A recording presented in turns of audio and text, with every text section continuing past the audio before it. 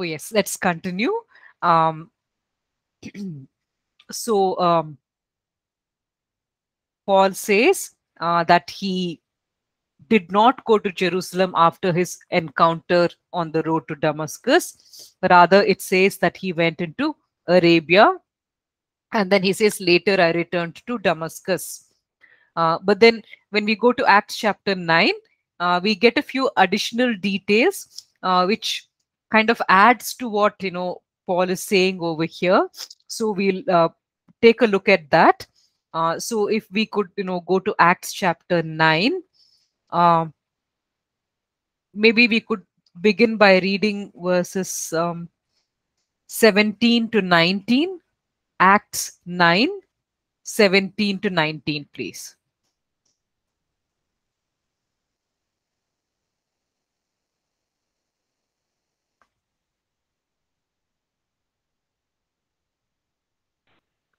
I hope you guys are back in the class. You go ahead, please. Yeah. Verses 17 to 19. Yeah.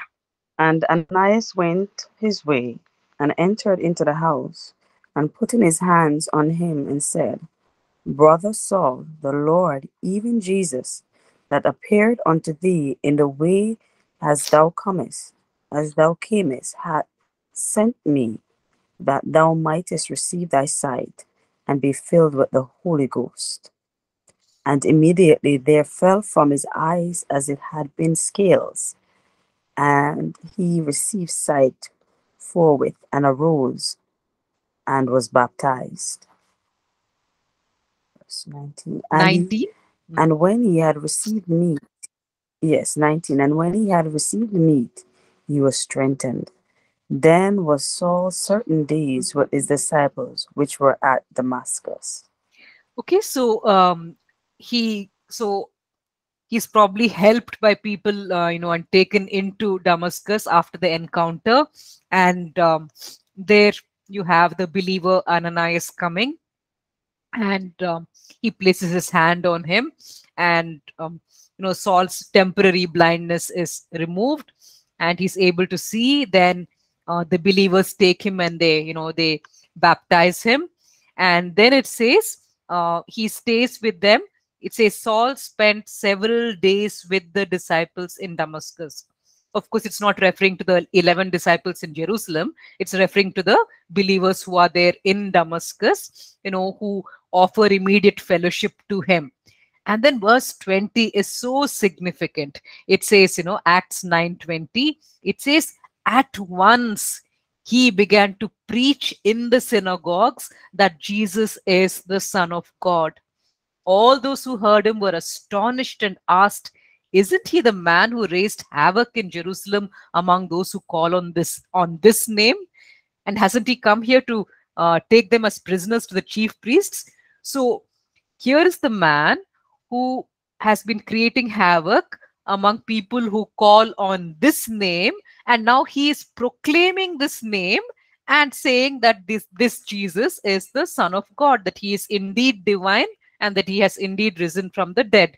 So uh, you see uh, paul begins to preach his gospel at once a few days after his recovery.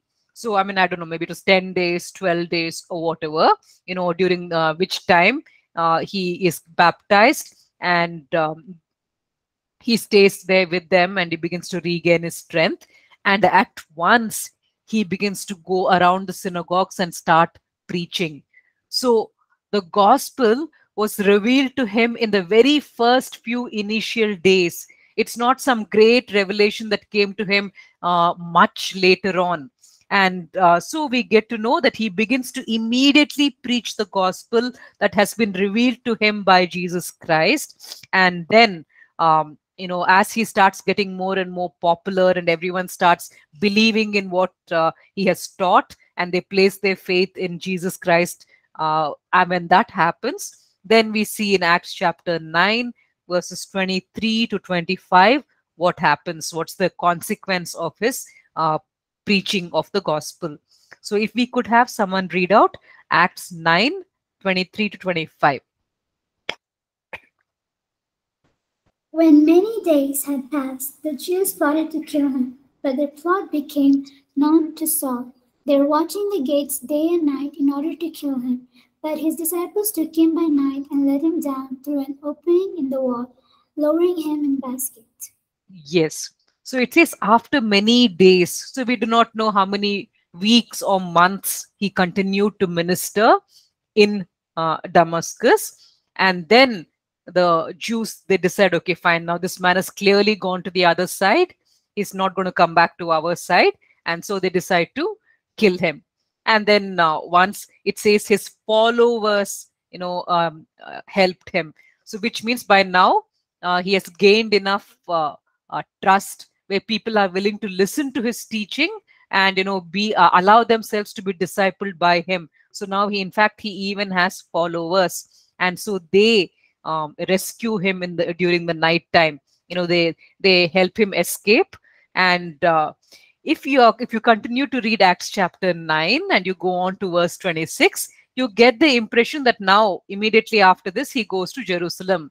But now because of the galatian letter we discover that uh, he does not after they let him down in that basket and you know and he escapes from there he actually does not go to jerusalem we, we get that impression in acts chapter 9 because over there you know luke is just condensing the whole narrative.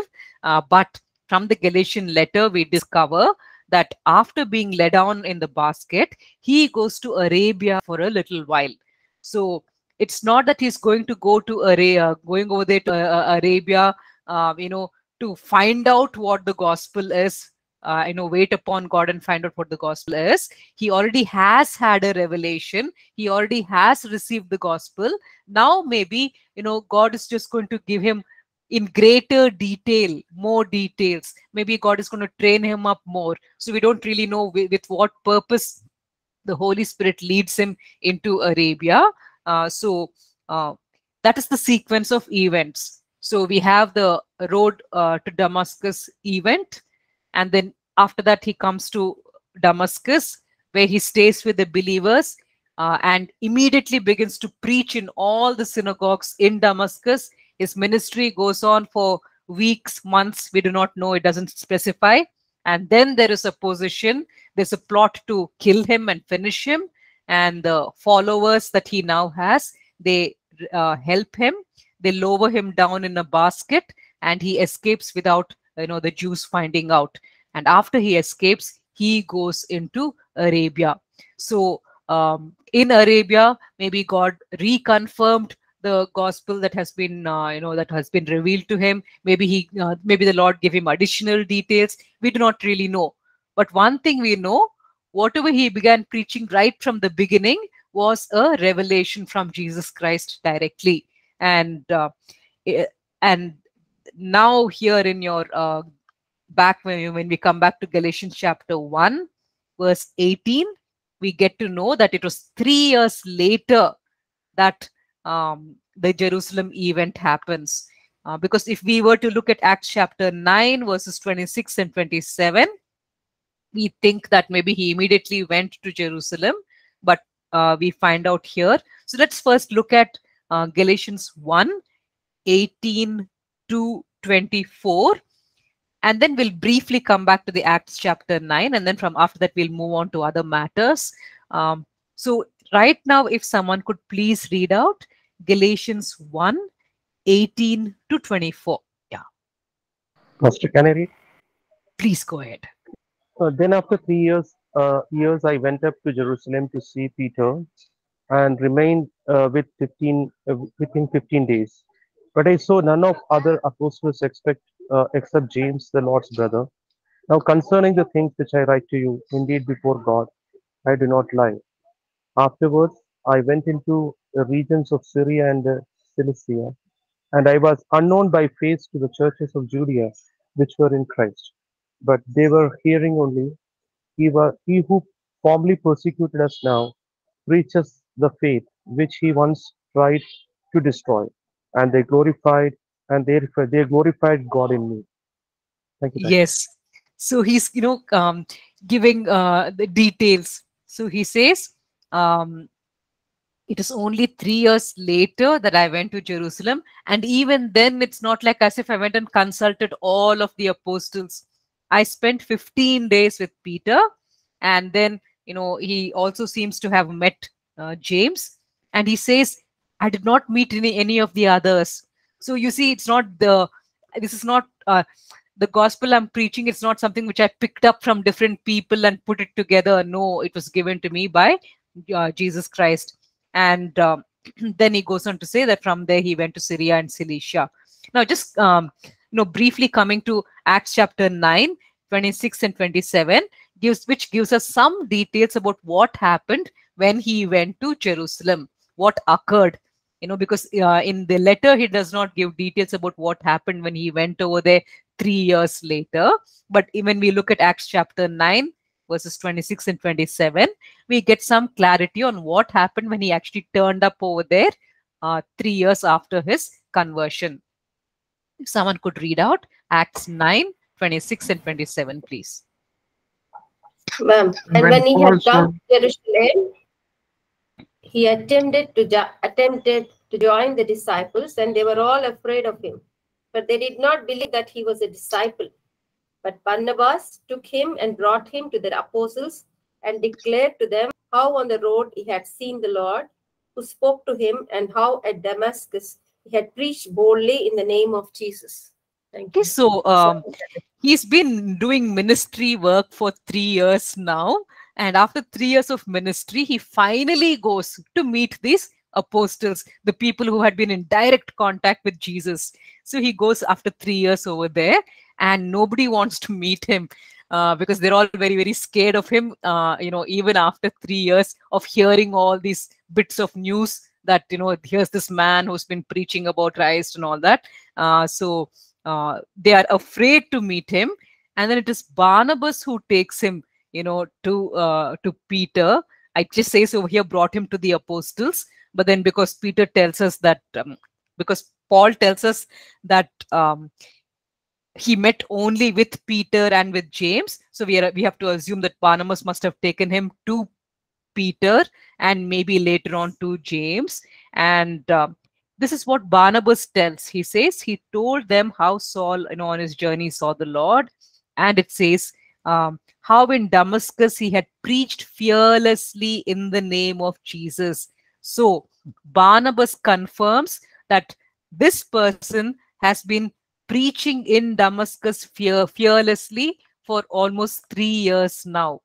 So we're not very sure how long uh, um, Paul was in Arabia, but it was probably just for a few uh, weeks or a few months because it looks like, you know, he says in his Galatian letter, I came back to Damascus. And here, even Barnabas is saying that he was doing a ministry in Damascus. So he probably spent that time, alone time in Arabia for just maybe a few weeks or a few months, after which he goes back to Damascus. He continues his he continues his ministry in Damascus.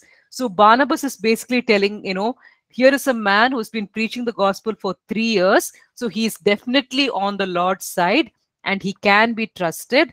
And so after Barnabas kind of, you know, certifies uh, him, then the uh, then uh, these apostles are more willing to accept him.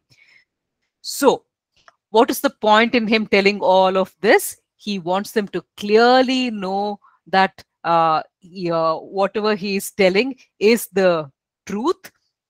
And he goes on to give more details. Um, and it's all interesting for us because we kind of begin to get a little background on Paul and what actually happened. You know, so um, uh, it does help. So let's move into chapter two and look uh, look at you know further details that he is providing us regarding his time. Um, so Galatians chapter two, if we could read out verses one to five, please. Then after fourteen years, I went up again to Jerusalem with Barnabas, taking Titus along with me. I went up because of a revelation and said before them, though privately before those who seemed influential, the gospel that I proclaim among the Gentiles, in order to make sure I was not running or had not run in vain. But even Titus was with me, was not forced to be circumcised though he was a Greek.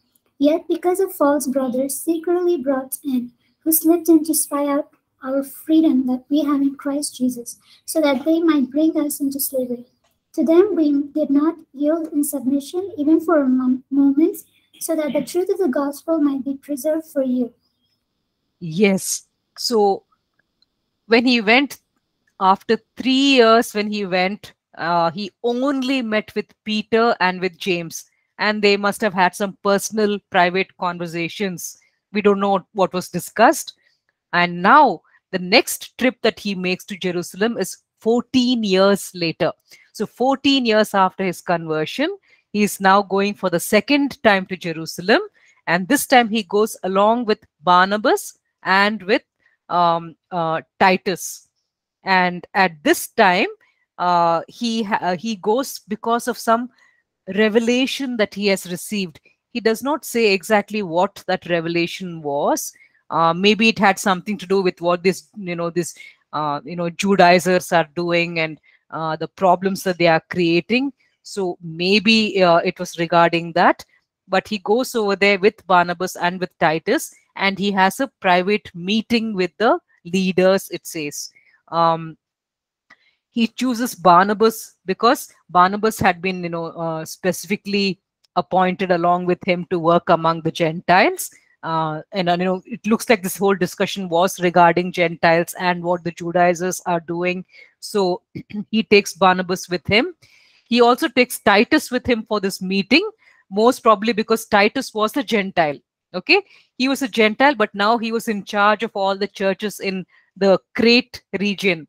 Um, so he takes Titus and Barnabas and he goes to this private meeting.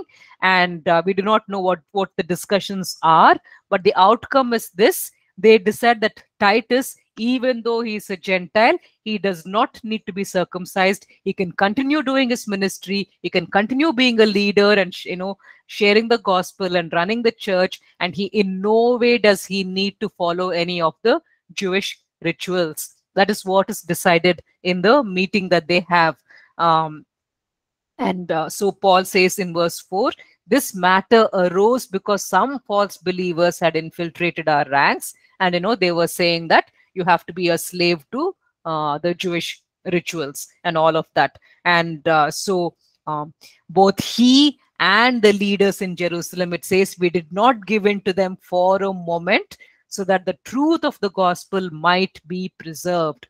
And so uh, we discover that uh, whatever Paul had been preaching, whatever Paul had been teaching for 14 years now, was perfectly in sync with what the Jerusalem believers were, were teaching. So the Jerusalem believers could not find any defect in what Paul had been preaching all of these years. And in fact, he goes on to, to talk about that. Um, if we could read out verses 6 to 10, and we look into the important points that are being made over here. Verses 6 to 10, please.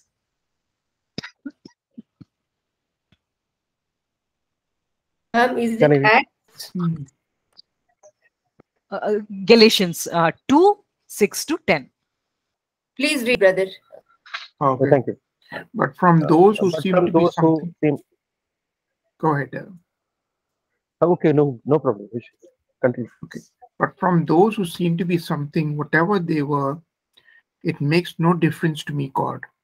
It, it makes no difference to me. God shows personal favoritism to no man.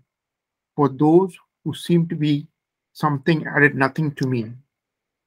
But on the contrary, when they saw that the gospel for the uncircumcised had been committed to me, as the gospel for the circumcised was to Peter. For he who worked effectively in Peter for the apostleship to the circumcised also worked effectively in me towards the Gentiles.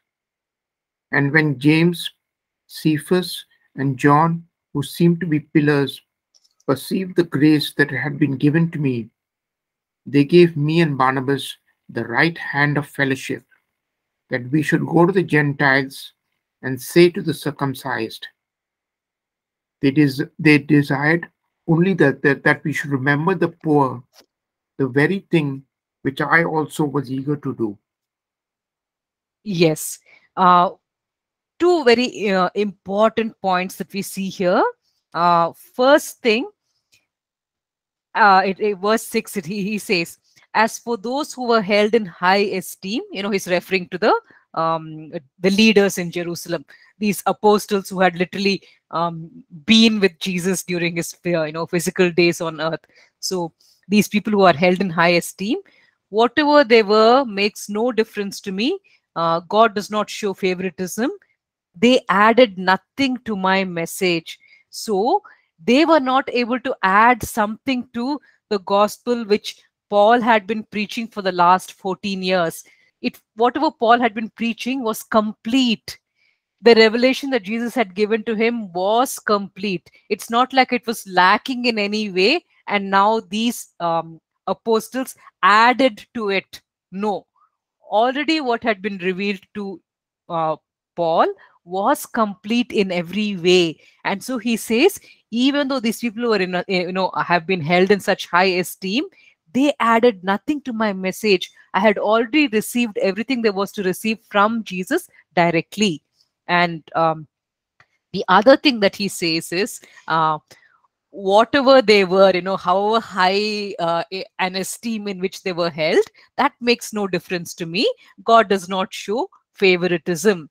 So uh, the point he is making is, um, it's true that there are people who got trained by Jesus day and night. Uh, and it's true that you know uh, jesus spent a lot of time you know molding them shaping them but god is not someone who shows favoritism because he did the same thing with me okay is what he's trying to say um, so it makes no difference to me that uh, people think that they are better trained than me because i know the truth i know the fact that god has shows no partiality in the same way he trained them he trained me too in the same way he anointed them he anointed me too so, in the eyes of the world, they may be held in higher esteem.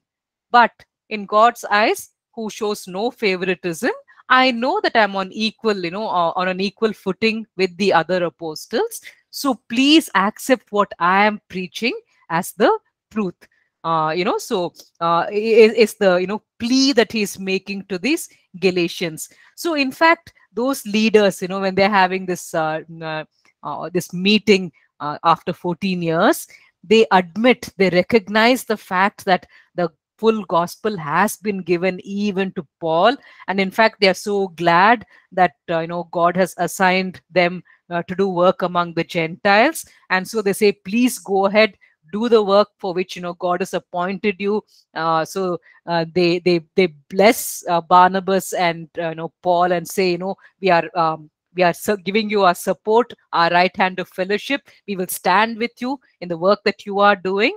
And uh, in the meantime, you know, Peter will do the work that he's meant to do, you know, uh, among the circumcised. Um, yeah, so all of that they say. Only one uh, single thing they ask for, they say, you know, please do continue to remember the poor. And I think actually they were referring to uh, the um, the church in Jerusalem. The church in Jerusalem was a very poor church. You see, in these other places where you had uh, Gentiles, you know, coming into the church, they were in a well-off position.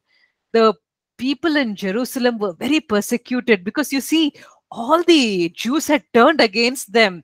They had been cut off from their relatives. They were snubbed when they went out in public. Um, uh, I think we really should appreciate these people in the Jerusalem church.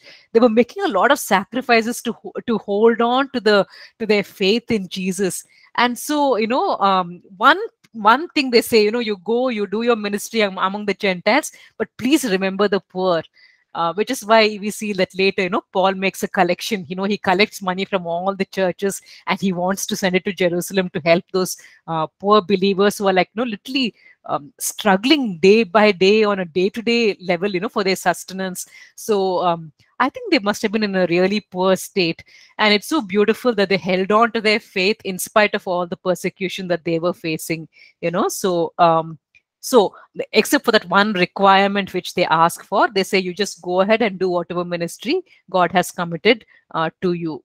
So, um, now just coming to this uh, whole thing about you know uh, it sounds a little you know the translation is such that it sounds a little rude that paul said the things that he did but uh, he was just making a very you know uh, frank statement he was not being boastful in, in any way when he says you know as for those who are held in high esteem whatever they were makes no difference to me. God does not show favoritism. They added nothing to my message. He's not saying it in a boastful way. He's just pointing it out that in God's eyes, all are equal and God assigns different responsibilities to different people. The whole, um, uh, uh, in the end, of course, when it comes to the time of rewards, God will see how sincere each person has been in the task that has been given to them.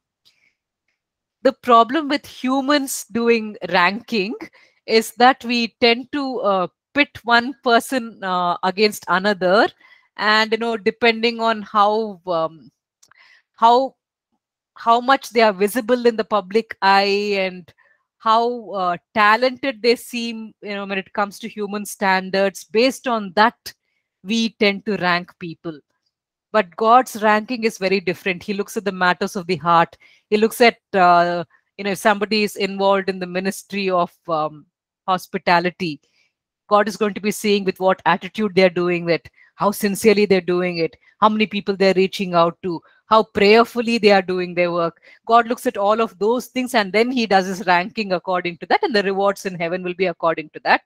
Here on earth, uh, people look at um, another set of, uh, you know, um, they, they have another set of things that they look at when they are ranking people so, you know, even if we were to make a comparison between, you know, James, you know, were Peter and James, like who were the pillars of the church, there are three persons mentioned, right, as pillars James and Peter and John. Yeah.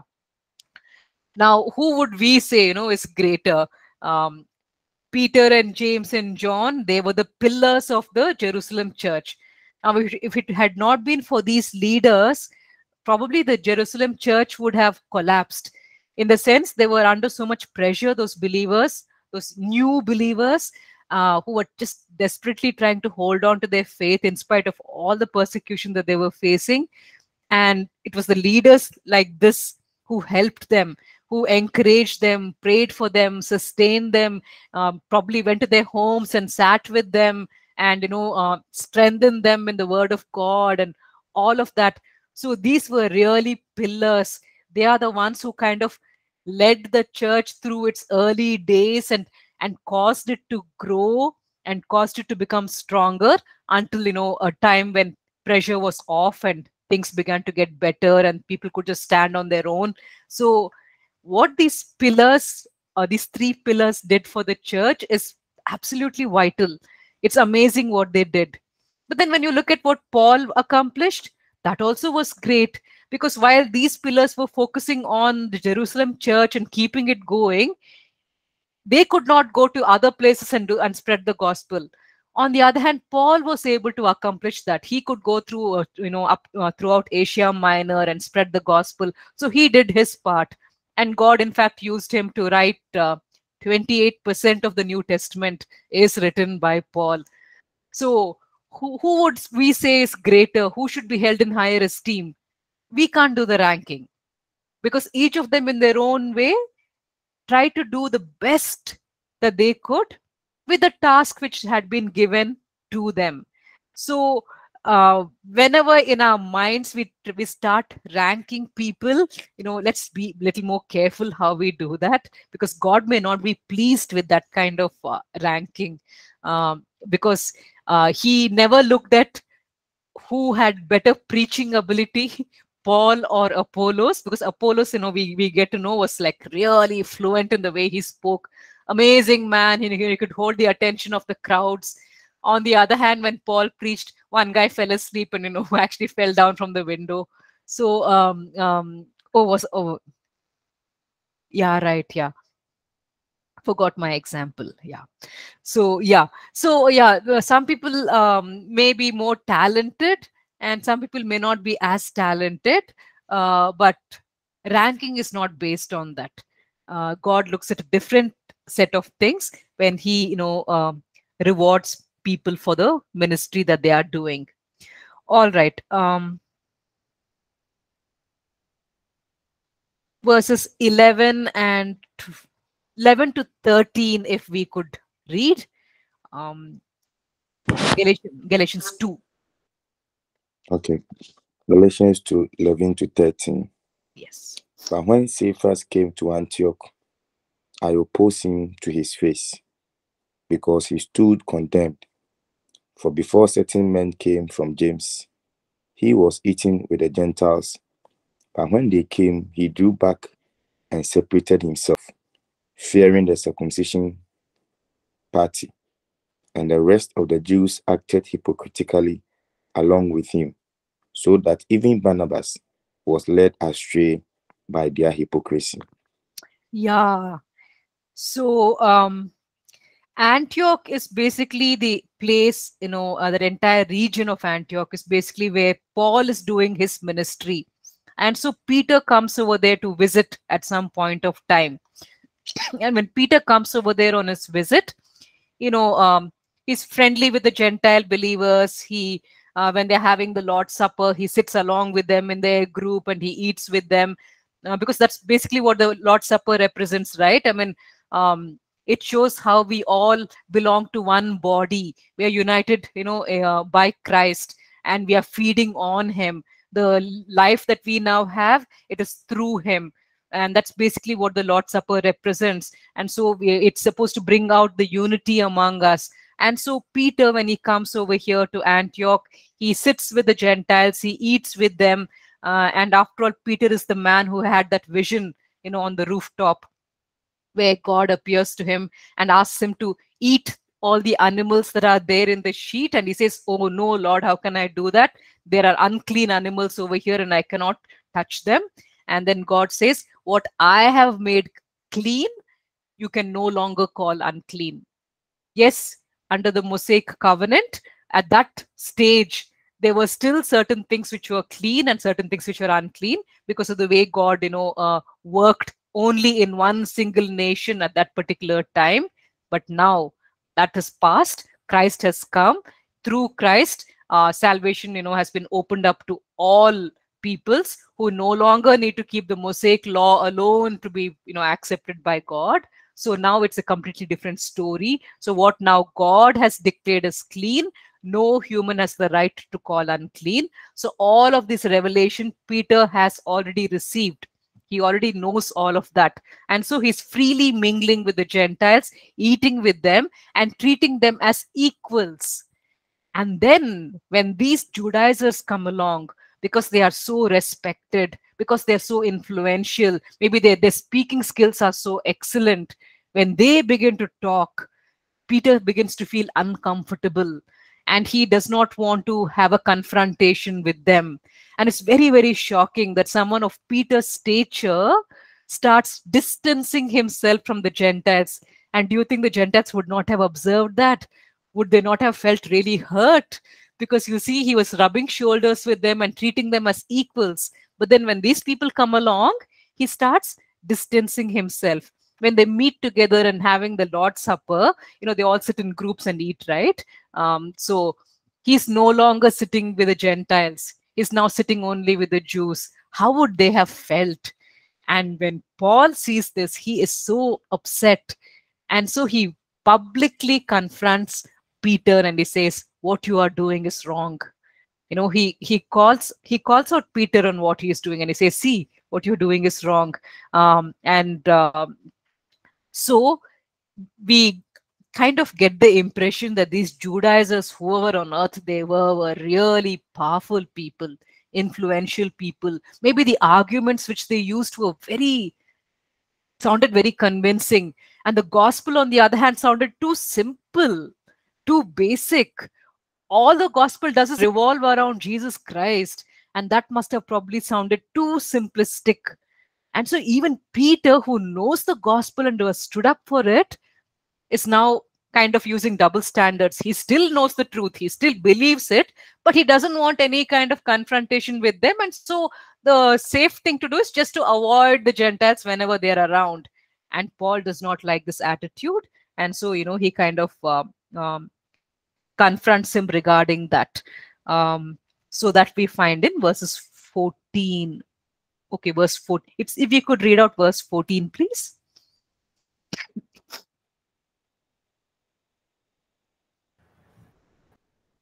Ma'am, verse 14. Mm. But when I saw that their conduct was not in step with the truth of the gospel, I said to Cephas before them all, If you, though a Jew, live like a Gentile and not like a Jew, how can you force the Gentiles to live like Jews? Okay, so um, he says, You are a Jew, yet you live like a Gentile. So from the time that God, you know, gave him that revelation on the rooftop, he eats like the way the Gentiles eat.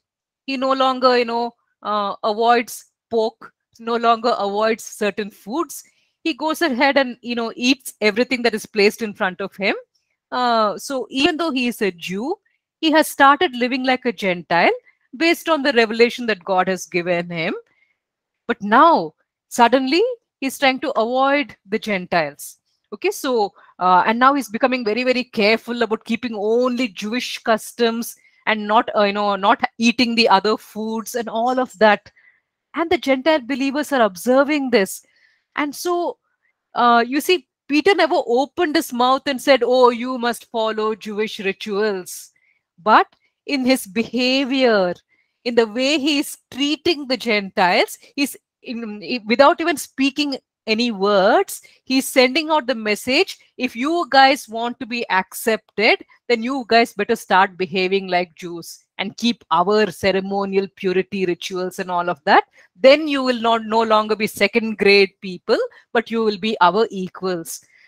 And so uh, over here the words that paul uses he says how is it then that you force gentiles to follow jewish customs but Peter never uttered a word. He never said, You people must follow Jewish rules. How is he putting force on them? Non-verbal communication.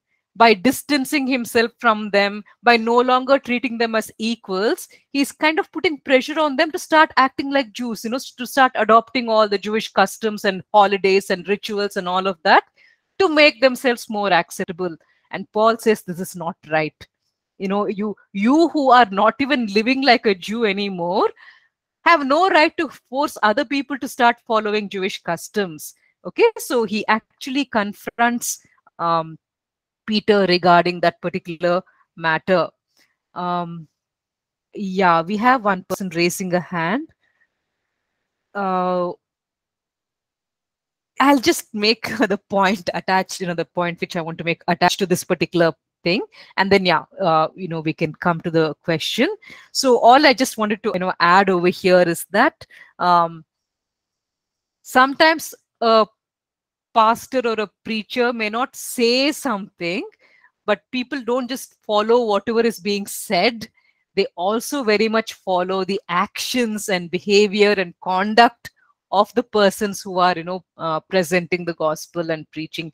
So it's people in leadership need to be very careful with also the their conduct the their behavior uh, the words that they uh, the words that they speak are important but also their actions and their non-verbal communication becomes important because people learn even from that uh, so yes, that's just the point that I wanted to make, you know, in line with uh, what is being said over here. So yes, uh, if we could come to your, uh, Shri Kumar, yes, if we could come to your question, please. Yeah, yeah. Uh, thank you. Thank you, Pastor. Uh, Pastor, I just want to know that, as you said right now, that it is uh, actually indirectly, he was actually sending a message or he was encouraging the Jewish custom. So my question is that um, um, or is it is it because of the fear uh, what he's having on the Jews? What he is that was the reason that he did, he actually you know um, separated himself from the Gentile, or actually he is still believing on the Jewish for Jewish custom, and um, indirectly he was actually teaching the thing. I just want to know that whether it is it is because of the fear of Jews he did that, or Mm. or he was actually encouraging the people to also follow the Jewish custom. That's my question. Whether he was go, moved by the fear, or it was actually indirectly uh, sending a message that you should follow Jewish custom. That's my question. Thank you, Pastor. Yeah, you know, where uh, verse 13 it says, the other Jews joined him in his hypocrisy, so that by their hypocrisy, even Barnabas was led astray.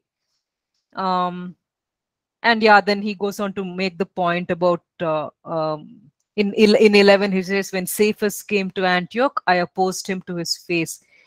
So when he say when he uses the term over here, led astray, did they start believing the teachings of the Judaizers? Not, at least in Barnabas' case, maybe he began to wonder whether those teachings may be correct. So, because the wording over here is Barnabas was led astray.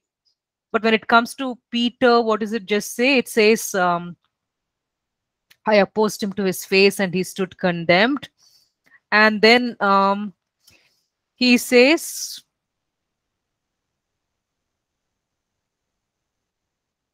they were not acting in line with the truth.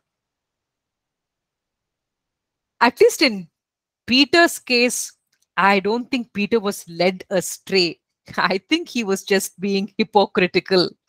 Um, you know, because he says, You're a Jew, yet you live like a Gentile and not like a Jew. How is it then you force Gentiles double standards? So maybe in Barnabas' case, he was led astray because the words used over there is led astray. So maybe he began to wonder whether there is some truth in what the Judaizers say are saying. Maybe he began to wonder whether you need something additional, extra to belief in Jesus Christ to gain salvation. But in Peter's case, I think he knew the truth inside out. He was just trying to play it safe. Um, he didn't want a confrontation with those persons maybe because they were so influential maybe if he got into a debate and argument with them he would not be able to express himself as clearly as them uh, you know um, because maybe he's not as fluent in the way he expresses himself in the way those people are able to you know present their case don't know what exactly it is but he was being hypocritical yeah Is it is it lack of uh, courage or uh, is it because of uh, fear he did that? That's my question. Do you think that it's because of fear? Well the word fear is not used over here and Yeah, what that- he was that afraid of so we cannot be too judgmental you know after all we're talking about peter so i don't Yeah. really want to say anything dangerous because in the go- past also he had so Yeah. much fear when Jesus was actually arrested and all. So that time also he was so much fear. So that's why I just wanted to know that. okay yeah Um, in in the background of that yes he Yeah, was yeah he was a man Oh, uh, full of fear at that time uh, Yeah. but then that fear went down the drain on the day when uh, the flames of fire came and rested on their heads Yeah, that is also there. Yes. he immediately comes out, stands in front of the crowd, and just preaches his heart out. And there are three thousand people, you know, added to the church that Yeah, day. correct. So he correct. was probably not fearful anymore. But over here, it may have been more a fear of, I mean, how do I express myself to those people? How do I debate with okay. them? Better to better to Ah, just avoid a confrontation. Uh, So it is probably more that. Yeah. Not too much confident. Yeah, okay. Thank you, Pastor. Mm, Yeah. Thank you. I mean, that happens uh, with me when some people come and start, you know, uh, debating the scripture, and they're really good at the way, at the way they express in their case. I know what what they're saying is wrong, but I don't have the words to express my side of it. And Yeah, rather than. I just say, uh, I just say, okay, brother, and I just leave it at that because, uh, you know, I don't, I'm not able to express myself as clearly as them, and and uh, so it could have been just that. But he should Yeah, not have, true. yeah, yeah. he, he he should not have distanced himself from the Gentiles because that would have hurt them. Uh, yeah, so that was a wrong thing to do. Thank you, Pastor. Yes. Uh, yeah. All right. Uh, if someone could read out verses 15 to 18, please. Yeah, we're almost out of time, but yeah, 15 to 18. We ourselves are Jews by birth and not Gentile sinners, Gentile sinners. Yet we know that a person is not justified by works of the law, but through faith in Jesus Christ.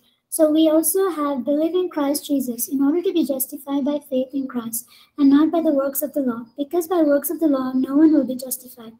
But if in our endeavor to be justified in Christ, we too were found to be sinners, is Christ then a servant of sin? Certainly not. For if I rebuild what I tore down, I prove myself to be a transgressor. Yeah. Okay. Um, okay let's look at this particular verse 17 okay? But if in seeking to be justified in christ we jews find ourselves also among the sinners doesn't that mean that christ promotes sin? Absolutely not. If i rebuild what i destroyed then i really would be a lawbreaker. Okay so just based on these verses it looks like as if the Judaizers were saying, Oh, you people are saying that you are followers of Christ and that you have been made righteous by Christ. But look at you people, you're also committing sins. On the other hand, at least we people who keep the Mosaic law, you know, we have all these rules. We have these 613 Mosaic laws, and we have all these additional laws, uh, laws which were, you know, developed by the Pharisees. So we try to follow all of these rules, and so we are better off at avoiding sin than you people who are claiming to be righteous. So, isn't your Christ actually promoting sin? You know, is probably the kind of argument that the Judaizers were using. And so here in verse 18, Paul says, if I rebuild what was destroyed, you know, the Mosaic law, the covenant which Jesus said is cancelled, if I try to re rebuild that, you know what? I would end up being a greater lawbreaker than if I did committed some other sin. So the it's a case that he's building up against what the judaizers have been claiming so he says it is true that we christians you know sin and when we sin we go to the lord and we you know we confess and we repent. Uh, but a greater sin would be to bring back the mosaic law just because you know we are not being perfect in our walk with christ. Just because you know we are still you know ending up in sin now and then. Just because of that if we bring back the mosaic law and start following it to make ourselves holy you know what? We would be greater lawbreakers. We would actually become breakers of god's law uh, so the solution is not uh, to go back to the mosaic law the solution to leading a righteous life you know is to uh, live in god uh, and so he goes on to say you know i have been uh, he says in verse 19 20 he says for through the law I died to the law so that I might live for God. On that day when I made a commitment to Jesus Christ, I was symbolically crucified along with him and I died to the Mosaic law. I don't need to follow that law anymore. On the other hand, how do I live a righteous life now? He says in verse 20, I have been crucified with Christ and I no longer live, but Christ lives in me. The life I now live in the body, I live by faith in the Son of God. I'm going to trust Him to sanctify me. I'm going to hold on to Him and learn to walk in victory. Like it says in Galatians 5 step day by day, I will walk in step with the, with the Spirit and put to death the flesh because I have already been crucified with Christ. And in that way, I will learn to walk into greater and greater, uh, you know, sanctification. It's going to be a process, but this process is going to happen through faith in Christ. He is going to make me holy. I am not going to rebuild the Mosaic law and go back to it because that is something that God, Jesus Christ Himself, cancelled. And if I go back and rebuild it, what a great sinner I would be, what a great lawbreaker I would be, you know, is, is the point that uh, Paul is making. So he basically concludes with that. He's trying to say, hold on to the gospel of Jesus Christ, trust him, follow him, walk, you know, uh, with his help.